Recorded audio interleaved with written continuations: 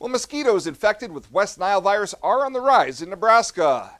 The latest mosquito testing data released on Friday showed a high number of positive West Nile virus samples detected in Nebraska's mosquito population. 60 mosquito pools have tested positive for West Nile so far this year. On average, there are just three positives at this point of the year.